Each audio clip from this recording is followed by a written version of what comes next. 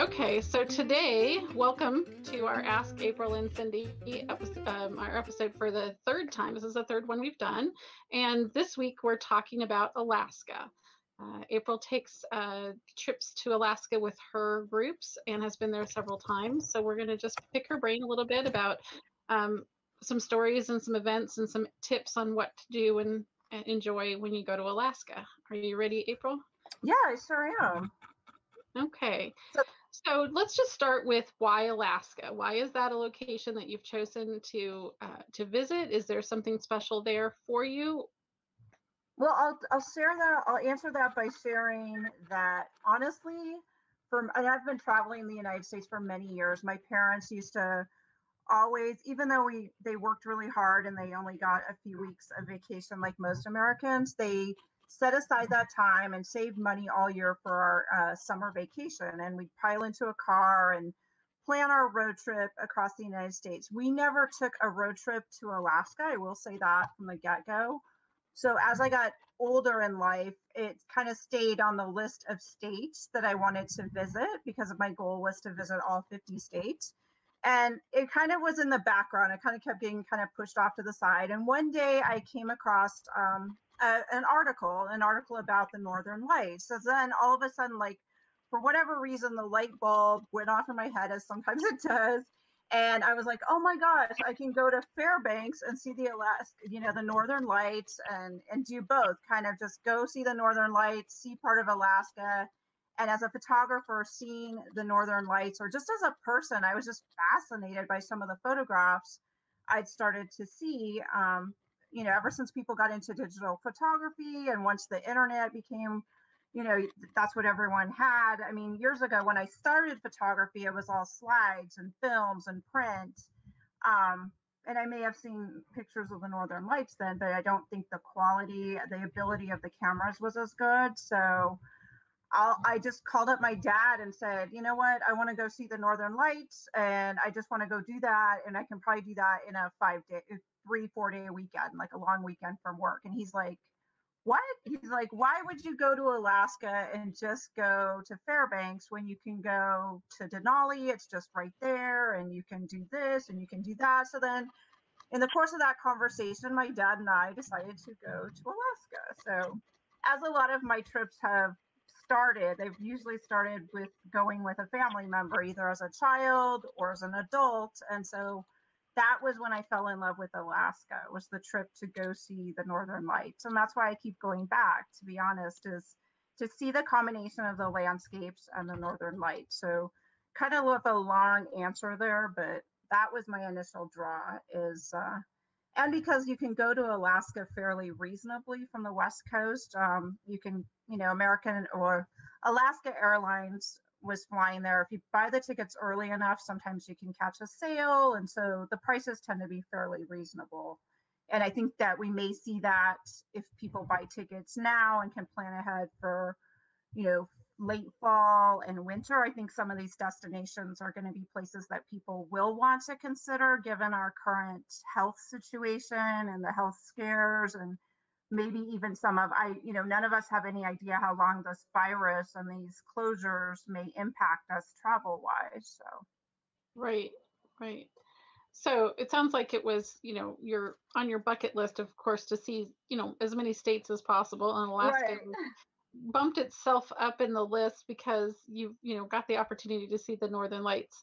Um, and so i'll just ask did you see them the first time you went? Did, Actually, I did. I was very, very lucky. Um, I contacted a photographer and his wife that lead uh, photography tours just to see the northern lights and he advised me too he's like don't don't put all your money on just coming for you know a lot of people do that they get three days off from work or a long weekend and so they'll fly up from LA and put like it's like gambling. It's like they'll put all their money on like, okay, I got one or two nights and that's it, and then go home. And I said, well, I understand that, but um, I don't have a lot of extra vacation days, so I, I did set aside two nights, and fortunately.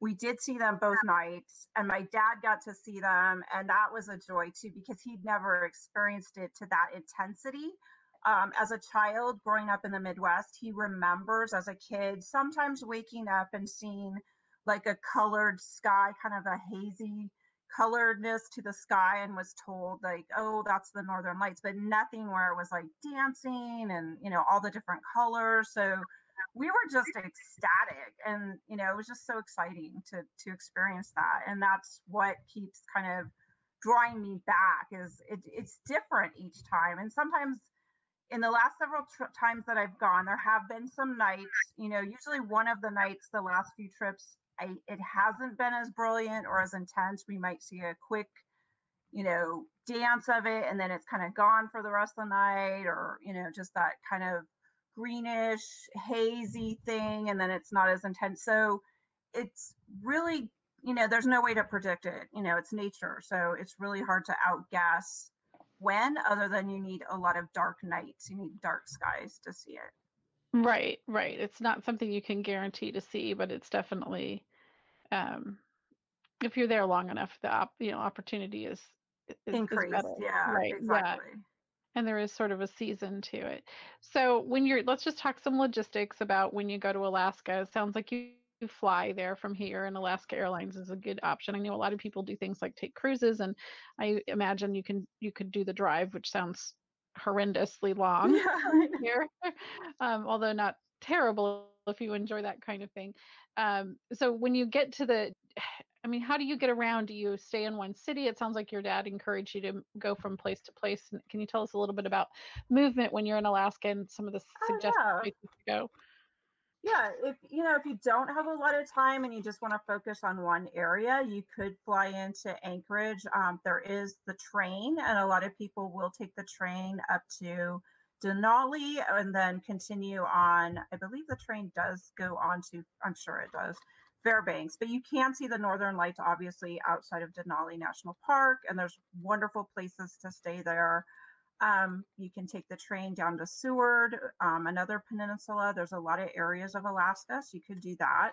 Um, personally, I like to fly in and rent a car because then you can, you know, you see something amazing, you can pull off the side of the road, or you can, you know, wander it and take more road trip type things at your own pace. So I tend to fly in, rent a car, and I was I did do a little bit, um, and I know I researched it in the past. You could say fly into Anchorage or Fairbanks and then rent the car and drop it off in the other city, but there is a drop off fee to do that, as as opposed to flying in and out of the same city. You know, there isn't a drop off fee then for the car. So it kind of depends on your, you know, the amount of time you have to spend for something like this. But personally, I like renting the car and doing my own driving and exploring. And there's not a lot of roads in Alaska, but the, everything is just big there. I guess the word I would use is big landscapes, just huge. I mean, it's just kind of amazing to then try to, for me as a photographer, take what I'm seeing and and get that into a photograph to con- to convey that. Right. So okay. Um, and then eh, when you're moving from place to place and enjoying that, um, what, what are some of the types of locations? I think you and I've personally had this conversation about places that you stay in uh, in Alaska, but can you share with everybody else like where you stay and how you've connected sure. with folks? Yeah, um, I like to find um, as I mentioned in the New England episode as well. I tend to like to stay in family-owned places or bed and breakfast places where you would have a, you have an opportunity to interact with the locals and also other travelers that would be staying there because by virtue of a bed and breakfast you have your most of them you have your own room your own private bathroom. So you're not sharing a common bathroom although some will have that so read the descriptions or call and ask and talk to them. But the idea then is to gather at breakfast time and share you know that breakfast time together. And some people will plan it so with the owner that hey we're getting up early and you know so they'll be the only ones out there eating breakfast. But i often like you know meeting the other travelers in fact this last year one of the bed and breakfasts i stayed at i it was wonderful we met this other couple that was traveling a husband and wife and we were all sitting there chatting and she had a camera and a couple of us had cameras some of us had um, just our cell phones that we were that they were taking photos with. And so they were sharing what they were seeing. And then we connected. So she actually came to California at the holidays and, and we went up the coast together and saw Hearst Castle. But I also there's places cabins to stay. There's some really wonderful places on the water. There's yurts. There's um, more camping type situations and little cabins. They have wet cabins and dry cabins, which, um, if some of our listeners aren't familiar, uh, dry cabin is where you don't have your own, you don't have a bathroom, you don't have, you know, a sink or a bathroom or anything like that. And I met a young woman who in Alaska and she leads um, like day trips and stuff. And we were talking, and she's, I think she was like in her 20s, and she rents her place where she lives, like her apartment complex, you'd call it, is essentially a grouping of dry cabins. And then they have a shared building with showers, bathrooms, you know, washer and dryer. So she literally has like a hot pot. And I think she said, I think a small refrigerator, but she does, technically doesn't, she has no running water in her place that she lives. And I, I found that wow. really interesting. But, you know, she was so happy in just her lifestyle of living and being outside and enjoying nature. And then, you know, where she enjoyed her grouping of these cabins. And I was like, wow, what a different way to. So I think by staying, getting kind of back to the question of where to stay, you have all the options. I mean, if you're if you're a person that likes to have a, a hotel and you like to use your points, there's definitely in the cities you're going to have your like Anchorage, you're going to have your Marriott's, your you know what you expect from that type of property, all the way to more rugged like cabins, camping, yurts, and then like I said, the bed and breakfast, which are really fun. Really enjoy that because you will get to talk to people that live there. I mean, they make Alaska their home, maybe not all year, but even six months out of the year, or they do. They live there 12 months out of the year and they share what it's like to live in such a different place. I mean, and uh, for a lot of us, I think we kind of see Alaska almost as its own country, its own island, because it is so far removed from, you know, the lower 48 states. So, right. Right, that's great. And so you have on the PDF that we're sending out, you have some suggestions of those. Yes, I do. Yeah, because I think that's one of the things that's I think we talked about last time.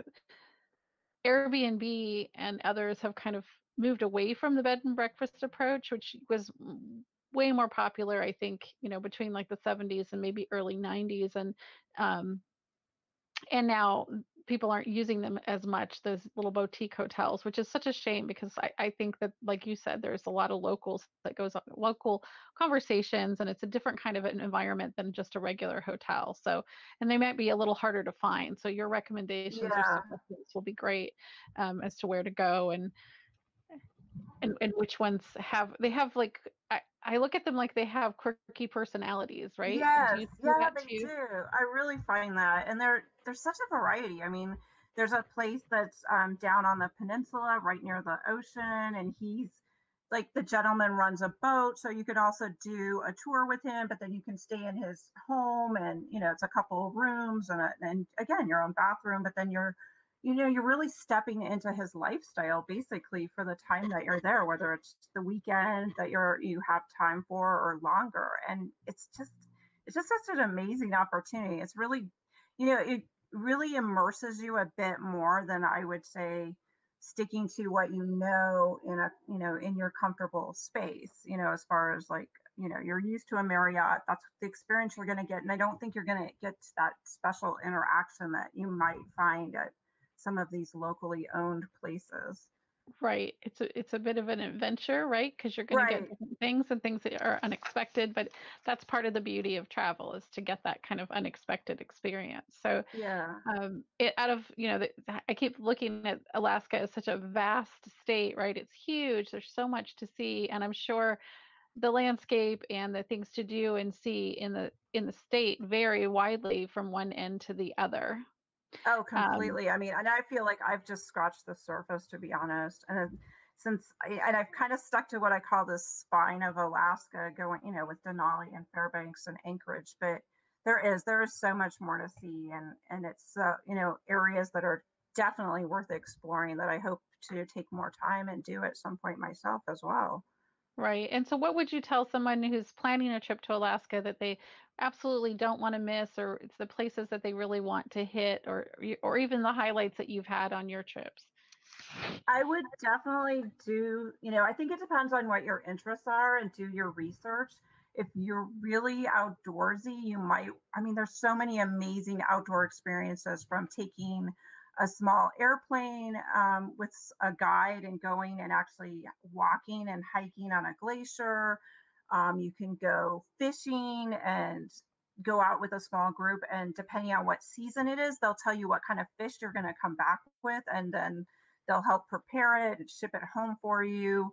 Um, so it really depends on your interest. Like for me, the Northern Lights was what really attracted me originally. And then Denali. And it, you know, Denali is one of our national parks and it's such a different national park than the others, in my opinion. And again, it opens up that really adventurous spirit. They have shuttle buses that run through the park that they don't allow private cars after the first 30 miles. So in order to access the rest of the park, you can either hike it yourself or you can get on one of these shuttle buses and get into the back country that way. And you can either stay on the bus or you can get off and then take a hike and get back on the bus. And being that there's lots of bears and I've seen lots of the bears close up, I kind of opted for staying on the bus most of my experiences there. But yeah, I would recommend doing your research. Um, go in the shoulder seasons, summertime, because it's they get the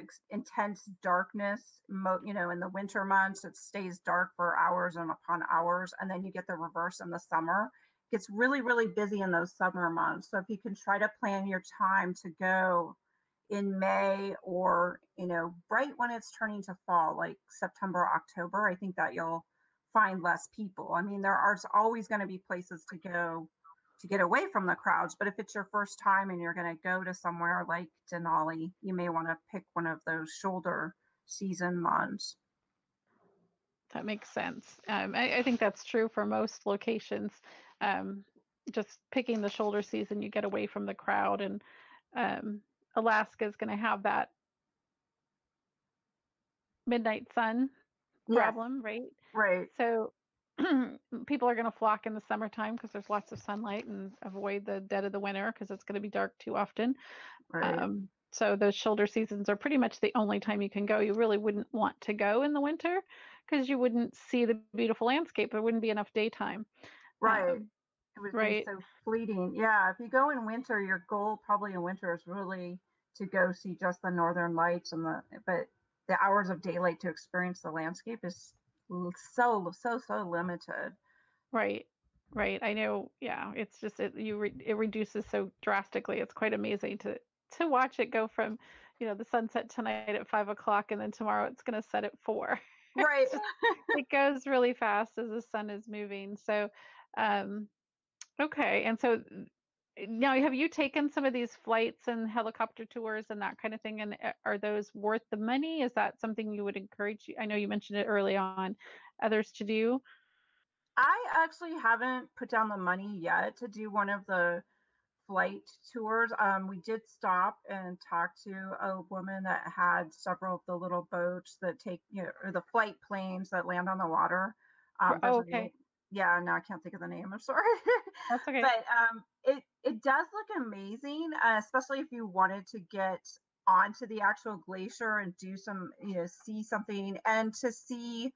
I know my father one year um, did do one of the flights to go in the plane and get closer to the mountain, you know, see mount the mountain Denali. Um, uh-huh.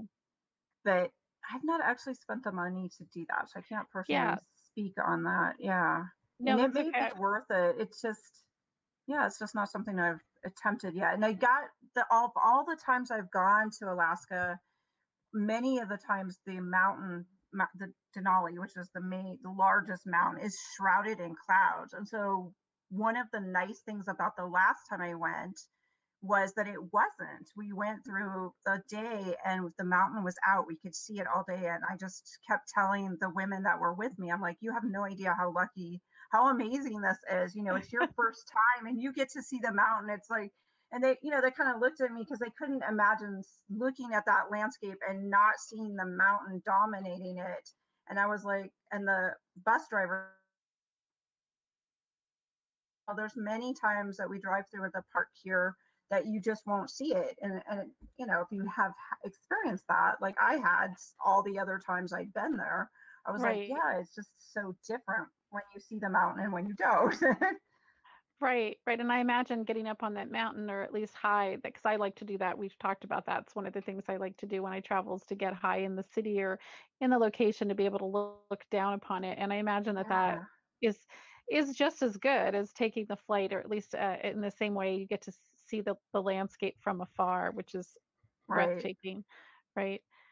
Um, okay, and so then let's let's talk about you know some of the times that you've visited and and something that you a lesson that you learned or it's something you'd recommend people not do or a mistake or something that happened? Um let's see i you know i saw this question and we've talked about it before and i was trying to think. I think well the first time that i was planning to go i think i would have made a mistake had i not added the couple extra days to see denali and you know if i'd gone just to say see the northern lights and that's all i'd done i did um, i think that might have been a mistake after you've already committed the time to go up there you know not to see because denali is just so incredible the landscapes the mountains just the tundra in the fall it turns all kinds of colors it's a different landscape. I mean, there's not a lot of trees, but the tundra itself changes color and just the amount of wildlife that you have an opportunity to see right there in Denali. Um, that would have been a mistake had I gone just for the sole purpose of seeing the northern lights, I think. You but the missed- other thing, yeah, I think I would have missed out on the whole, you know, what Alaska really is about, kind of the, the broad, you know, landscapes and just the variety of landscapes from the water escapes. Um, you know, getting I have taken a little boat out from one of the peninsulas to go out to see the glaciers and to hear the glaciers cracking and see that blue of the glacier and that and and that in itself is amazing too. So I think it's all about trying to make the best of your planning to okay. not yeah so that you get out of the trip what you want i think a lot of times we get excited and, and, sometimes you do you have a limited amount of time something come up comes up on your radar and you're like okay i'm just going to go. But taking just a little bit of time to pre-plan so you go and are rewarded with you know maybe a little bit more than you bargained for. I right. I, I actually think I just had a conversation with a friend the other day and she was telling me about a trip she took. And i won't talk about the destination but she was really disappointed in the trip and she was asking my advice as to what she could have done better and as I listened to her, I was my answer was plan. Eh, eh, you you didn't think through where you wanted to go, what you wanted to do, so you missed a lot of things, and that really right. is just a matter of planning. And you might need help with that, and that's what April and I do also help people put itineraries together. I mean, that's the kind of thing that is you'll waste a lot of time and money if you go to a location and you don't have, you know, you don't have any real plans. As I told right. her, you don't yeah. you don't really need them if you're okay with missing some things. Right. Um, and the other thing I had suggested to her is that she could have asked um, some people. Like that would have been one of the first things I did. I said you can, don't have to plan before you get there, but you sort of have to plan day by day.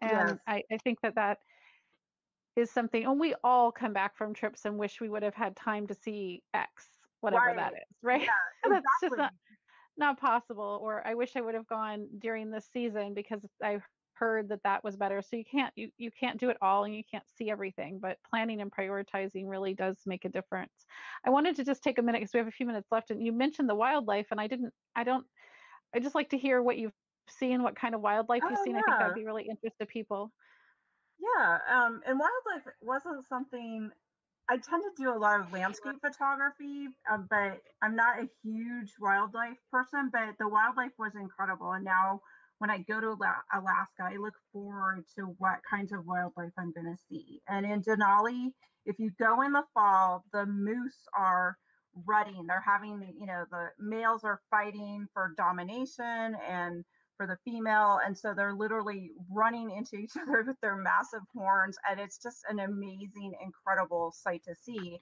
And there's a parts of of the park in Denali where they tend to congregate, and the Park Service knows it, and they try to you know they try to keep you at a safe distance, which is very smart. But you but still they're they're within you know you can roll drive your car right there and roll the window down and you know maybe 15 feet away there's these massive moose and wow yeah and so i've seen moose i've seen lots of bald eagles i've seen uh, the puffins which are these uh, there's these beautiful like bird ducks that fly with these bright orange beaks they're amazing um, there's a lot of you know the whales i've seen whales i've seen seals, otters, um, elk, reindeer, uh, bears. There's a lot of bears in Denali, and I've seen them every time I've gone.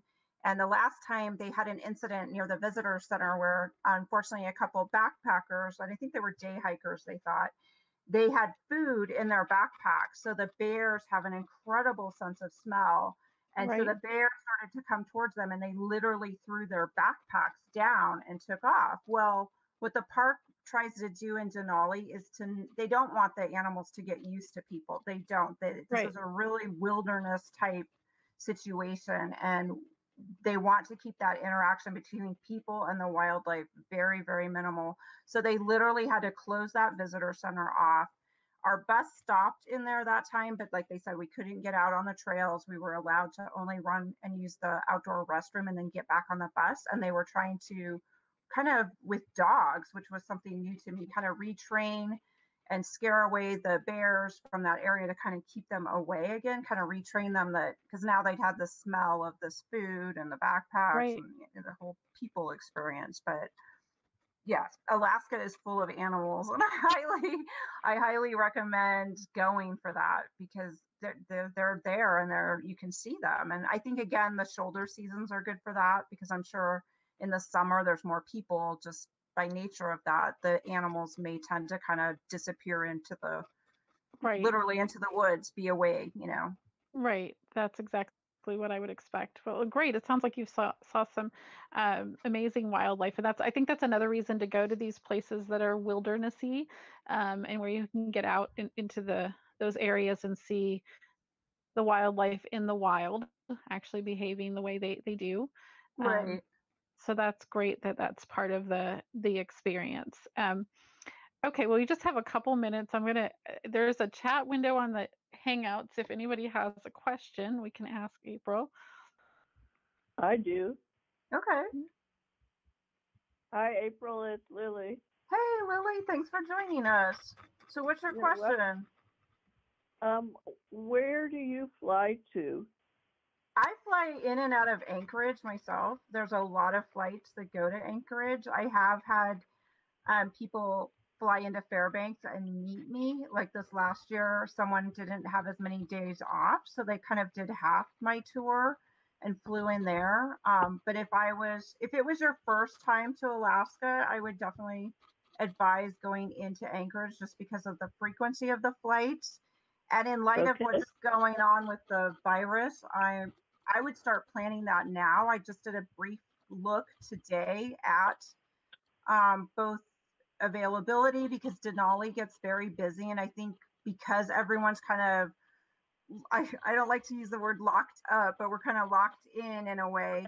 I think people are looking at fall and late summer, like, oh my gosh, I really want to travel and where can I go? And, you know, Labor Day weekend is super busy as it is in any location because it's a longer weekend for families. So if you were planning to use that time, I would start looking at, you know, where to stay. You know, you can always reserve a car ahead of time. And that's one thing you can very easily cancel as a rental car. Or if you want to look at train tickets, um, the trains are really nice, I've heard, and it's an easy way to not then have to do the driving, let someone else do the driving. It's very scenic in Alaska. I've had a lot of good feedback from the trains there. Okay, but your trips are usually uh, are they in September? I usually go like the first part of September. Okay. Just to hit that shoulder season because right before they do shut down Denali National Park completely pretty much to to tourists to cars to everything and so it's closed in the winter time if you're a back backcountry person, you could hike yourself in. Not something I'd advise unless you're really skilled. Um, and I also go because that's the time of year where it starts getting dark enough. We have enough hours of darkness to start seeing and experiencing the northern lights. Mm-hmm. Thank you. Yeah. Okay. Any other questions? You're welcome to type them in or uh, take yourself off mute if you have a question. We'll wait a few seconds here. Yeah, I know that half hour goes quick. It does. Thank you. That's all I had to say. oh, Oh, well, you're thanks, welcome. Matt. Thank you. Okay.